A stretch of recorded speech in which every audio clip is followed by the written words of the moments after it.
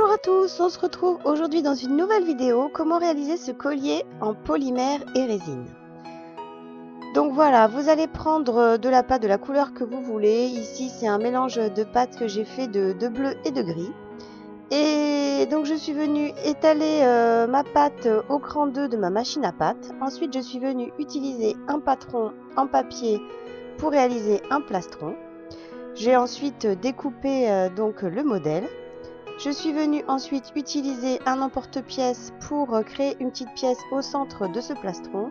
Après, euh, libre à vous euh, de faire le montage que vous voulez. C'est simplement pour vous montrer l'idée que, que j'ai eu de faire ce collier donc en mélangeant la polymère et la résine. Donc là, je viens utiliser mon extrudeuse, mais après, vous pouvez très bien rouler, faire les boudins à la main si jamais vous n'avez pas d'extrudeuse. Ici, euh, c'est vrai qu'elle est très pratique cette extrudeuse, euh, cet extrudeur XXL de chez Lucyclay. Donc euh, je viens faire un petit boudin comme ceci et je vais venir habiller tous les bords de mon plastron à l'aide de ce long boudin. Je vais aussi venir créer des petits compartiments. Donc vous pouvez aussi vous aider de fimo liquide ou de bonde pour pouvoir coller votre, votre boudin. Donc moi j'ai bien appuyé sur euh, les parties entre elles, ce qui fait que mes boudins euh, ont bien tenu entre eux. Donc voilà, vous venez habiller tout l'extérieur euh, du plastron pour pouvoir créer des compartiments.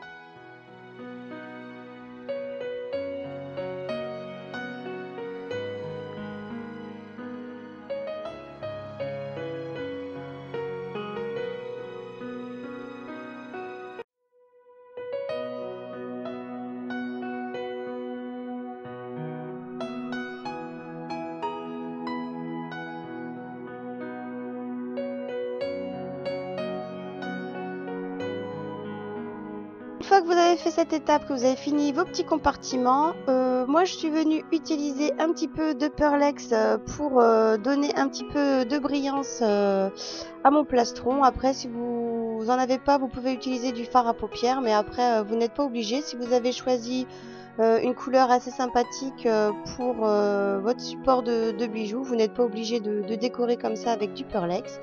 Mais euh, voilà, là j'avais envie de, lui donner un petit peu plus de peps. C'est pour ça que j'ai euh, donc passé du Porlex sur euh, tous les bords de, de mon plastron.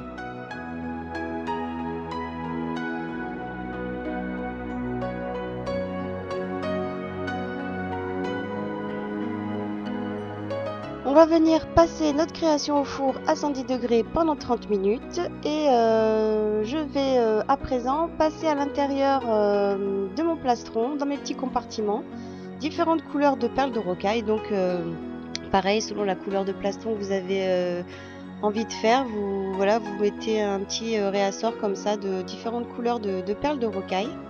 Donc dans chaque compartiment de ce plastron. Puis on va venir préparer notre résine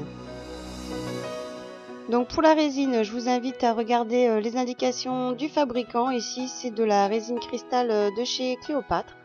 Euh, je suis venue y ajouter un petit peu de Perlex pour faire un petit effet brillant, nacré comme ça à l'intérieur de ma résine. Donc faites attention avec les Perlex, si jamais vous en mettez trop dans votre résine, la résine après une fois qu'elle est prise, elle devient opaque. Comme j'ai travaillé pas mal sur les inclusions résine ces temps-ci, euh, voilà, vous en mettez un tout petit peu. Comme vous voyez, ça fait un bel effet, mais faites attention de ne pas trop charger. Donc euh, ensuite, vous allez venir donc euh, placer votre résine à l'intérieur des petits compartiments pour pouvoir immerger complètement toutes les petites perles de rocaille à l'intérieur du plastron. Vous laissez sécher votre résine donc pendant 48 heures et une fois qu'elle est sèche, on va venir passer à présent euh, au dos du bijou et ensuite je vous montrerai le montage. Donc là vous voyez je suis venue utiliser euh, des petits euh, morceaux de fil aluminium pour pouvoir maintenir mon pendentif sur ce plastron.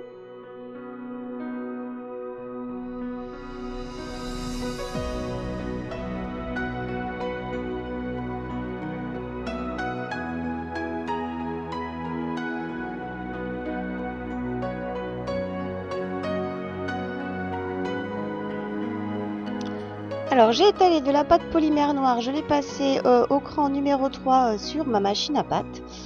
Et je viens déposer les pièces euh, du, plastron dessus pour pouvoir ensuite faire les découpes et pouvoir réaliser le dos de la création. Donc une fois que j'ai placé toutes mes pièces, je viens faire la découpe et ensuite je vais venir réaliser la texture au dos de ce plastron à l'aide d'une petite mousse.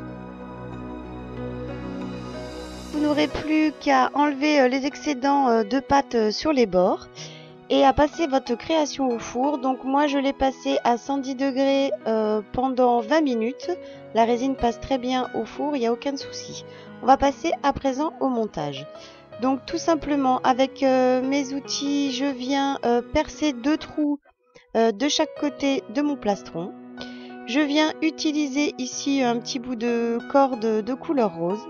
J'y insère une petite perle à l'intérieur de mes deux cordons. Je viens terminer le bout du cordon avec une petite pince griffe. Donc je mets toujours un petit point de colle avant de, déposer mes pinces griffes.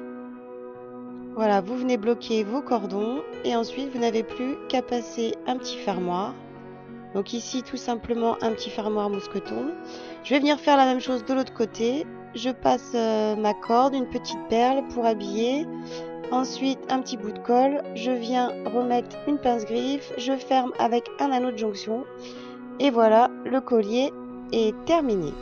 Voilà pour toutes les étapes pour réaliser euh, ce plastron en polymère et résine. J'espère que ce tutoriel vous aura plu et vous aura donné euh, des envies de réalisation.